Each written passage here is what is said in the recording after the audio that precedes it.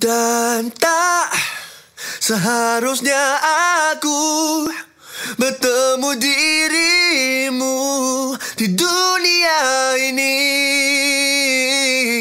Dan kau membuang diriku sesuka hatimu dan memilih dia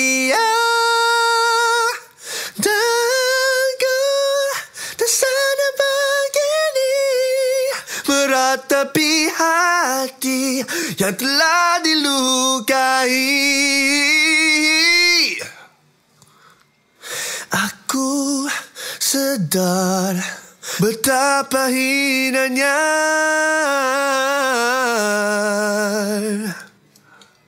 ku di matamu.